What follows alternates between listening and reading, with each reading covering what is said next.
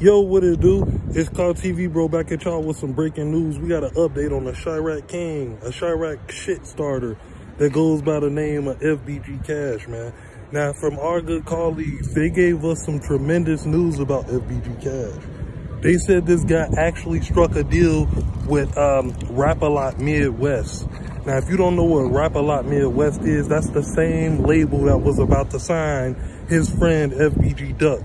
It's a lot of gang members that's a hold of that label. They also signed a lot of celebrities as far as YBN Almighty Jay, uh, YBN Nahmir. And, uh, you know, he they signed a lot of people, man. Uh, the reason why FBG uh, Cash got this deal because he's been buzzing through the streets. He dissed Lil Durk. He Chief Keef. He dissed the whole nation.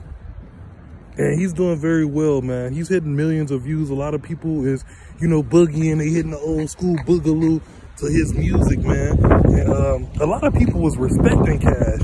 They like that FBG Cash is going hard for his fellow GD gang members as far as uh, FBG Duck, you know, uh, Young Go Dumb, uh, Dutchy, you know, basically Lil Jojo, everybody, you know, he going nuts, even though Lil J Jojo was an insane gangster disciple. These guys run with gang members like this, and they travel in packs like a pack of wolves. Uh, but unfortunately, FBG Cash don't have to do that anymore.